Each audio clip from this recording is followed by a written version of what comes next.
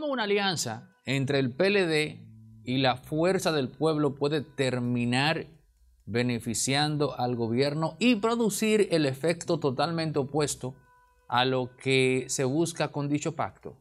Miren, para usted llegar al poder, usted necesita tener un equipo más abajo. Eso usted lo puede inferir al vuelo. Pero ¿dónde está ese equipo? Bueno, ese equipo está entre sus candidatos a senador, diputado, eh, sus candidatos a regidurías, eh, síndicos, etc. Esa es la gente que se encarga de estructurar los equipos que salen a buscar los votos el día de las elecciones. Usted logra un compromiso en donde esa gente se siente estimulada a dar la batalla por su proyecto a cambio de algo. Y ese, ese canje no es otra cosa más que una candidatura a lo que sea.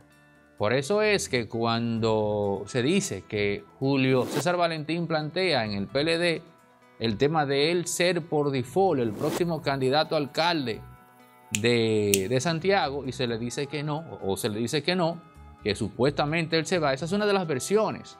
Pero en caso de ser así, la negativa se explica porque el candidato presidencial Abel Martínez no podía liquidar de golpe y porrazo esa plaza sin antes no sacarle el beneficio debido a los aspirantes. Pero si él liquida eso desde ahora, pues ya esa es gente que no cuenta, porque es gente que no está motivada a seguir en ese proyecto presidencial.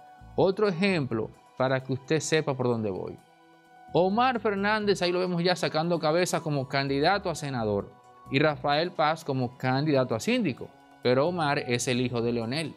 En un acuerdo, en una alianza, ¿acaso creen ustedes que Leonel va a permitir que se sacrifique la candidatura a senador de su hijo?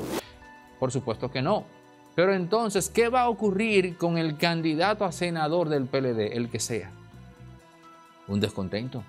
Multiplique ese efecto por todos y cada uno de los miembros de ambos partidos que se verían sacrificados en una alianza que no solamente sería a nivel municipal y no solamente sería a nivel de regidurías, sino que implicaría sí o sí el nivel del Congreso y las presidenciales. Imagine usted toda esa gente descontenta, gente sacrificada de bando y bando porque en una alianza, y esto es algo que no se ha dicho, pero que caramba, en una alianza hay cargos y candidaturas que se sacrifican.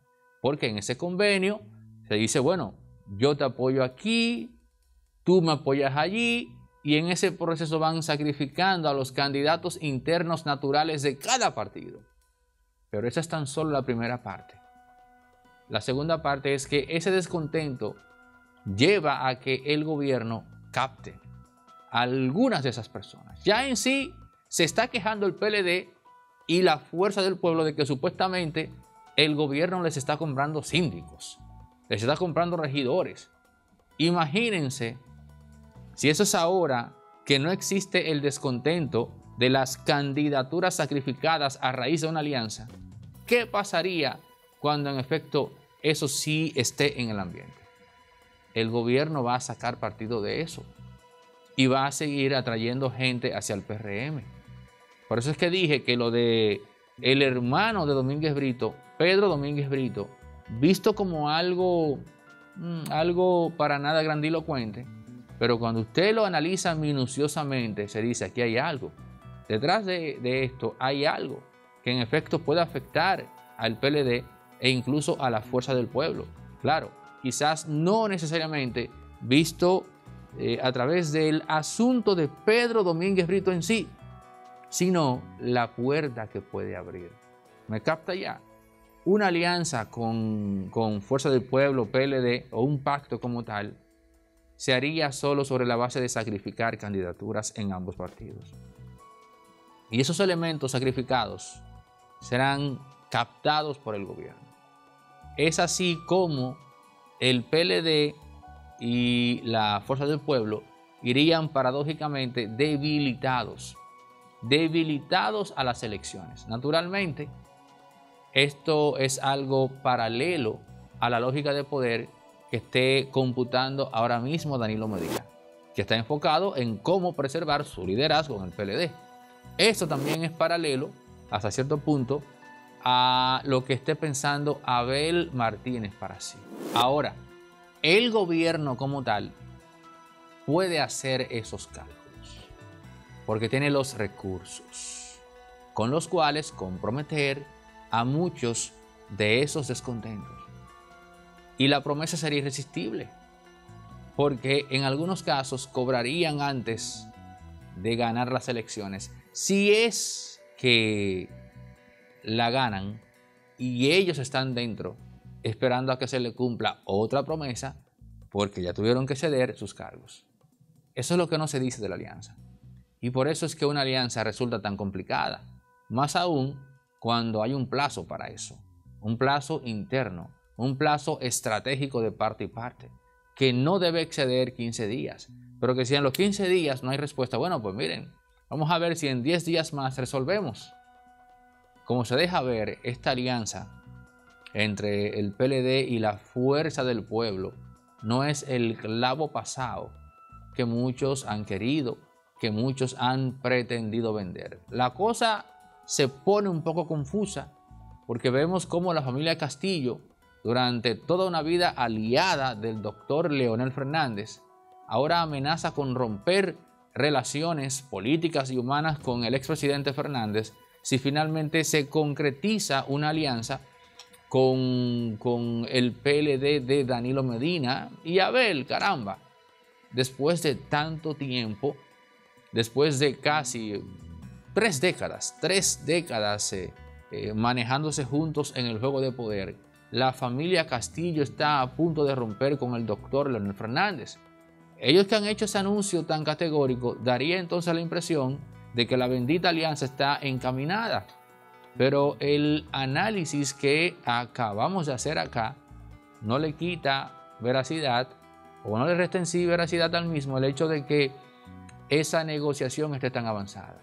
Porque lo que aquí hemos querido establecer es algo que ni la fuerza del pueblo ni el PLD han calculado. Y que el gobierno, con todos sus asesores, sin dudas tratará de capitalizar.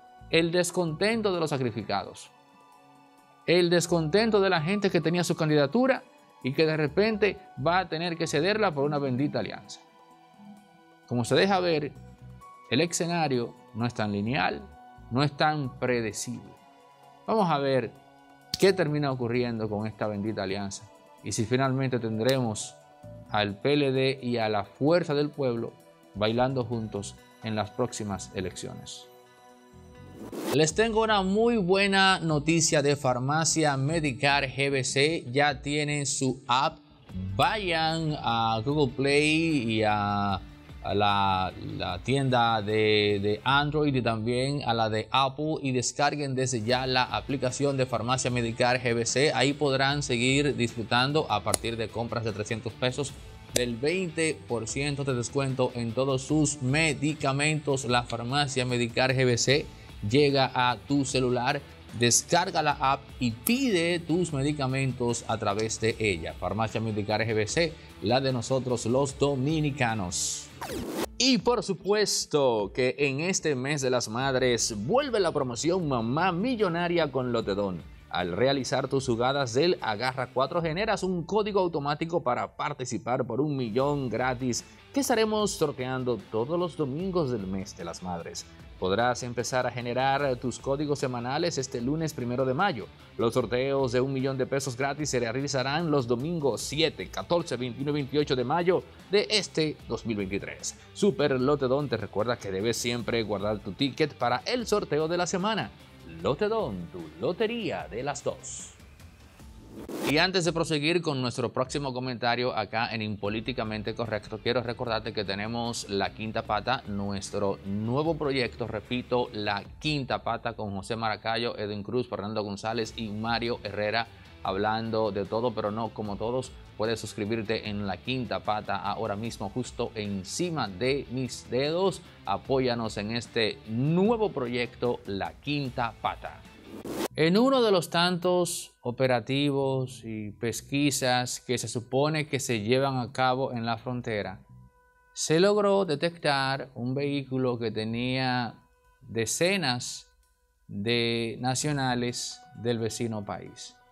Pero lo alarmante y preocupante no era la cantidad de personas de aquella nación, que fueran 10, 15, eran muchos. En la portada del video está la foto de los arrestados. No, lo alarmante no era eso. Lo alarmante era con qué andaban. Tenían armas largas, pistolas. Creo haber leído, que no puedo creerlo, hasta granadas. La pregunta que yo me hago, ¿cuál era la finalidad de esos vecinos andando en suelo dominicano con esas armas. Eso es lo preocupante, eso es lo delicado.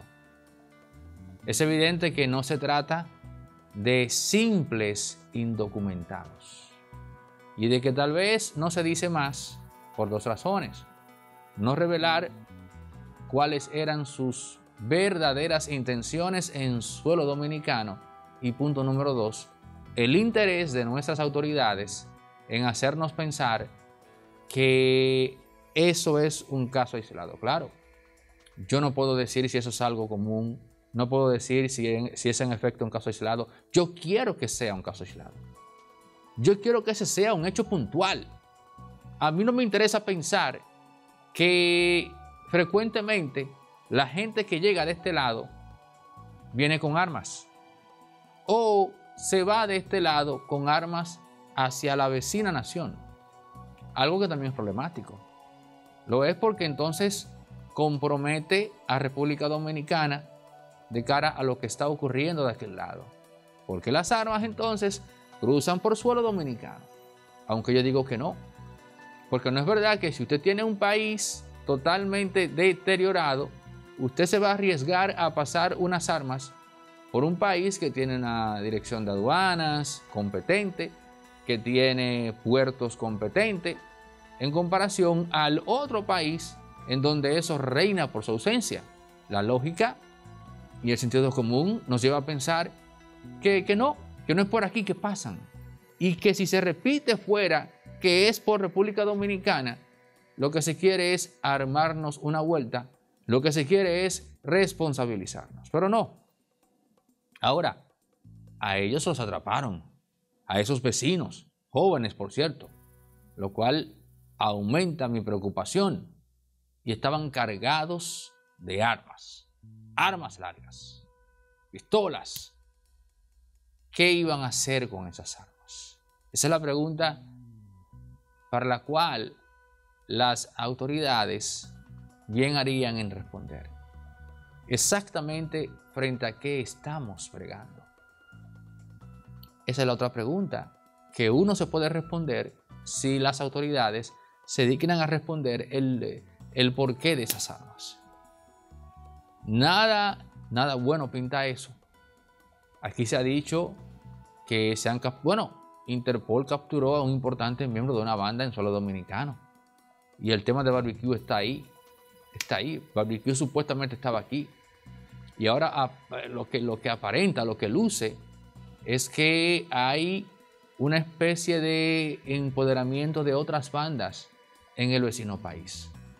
Pero en lo que la chava viene, hay gente de ese país aquí armada.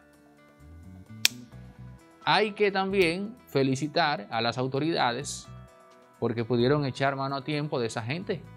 Claro, porque si hubiese sido al revés, y pasa algo que ni Dios lo quiera, bueno, pues con toda la razón del mundo le entramos a las autoridades.